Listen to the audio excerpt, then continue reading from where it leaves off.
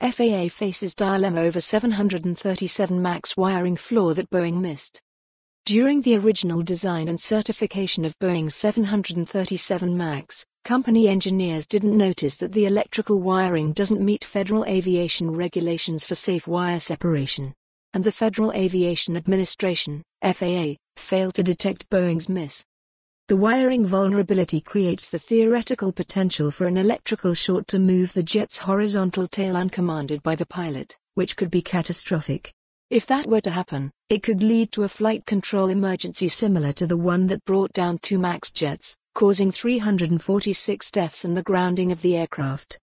Because this danger is extremely remote, the FAA faces a dilemma over what to do about it. The issue has complicated the return of the MAX to service after a grounding that is edging close to one year.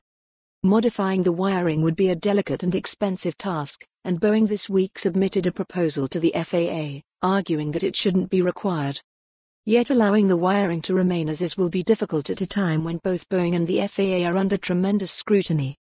Boeing's argument rests on the long service history of the earlier Model 737, which has the same wiring. That earlier 737 NG model didn't have to meet the current wiring separation standards because they came into force long after that jet was certified.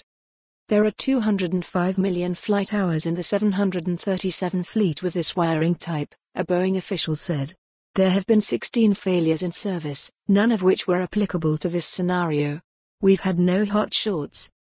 In addition, Boeing says pulling out and rerouting wires on the almost 800 MAXs already built would pose a potentially higher risk of causing an electrical short, because insulation could chafe or crack in the process of moving the wires.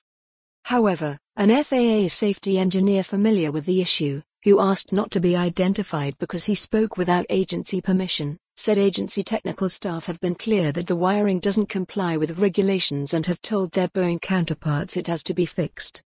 A second person familiar with the FAA's thinking said the agency has communicated to Boeing that despite the safe service history of the wiring on other 737s, it will be difficult to convince regulators that they should do nothing. Our people have to weigh that against the regulations and the political and public opinion risk of appearing to give Boeing a break on a regulation that's there for a reason, the second person said. Furthermore, there's also pressure from foreign regulators, including the European Union Aviation Safety Agency, EASA.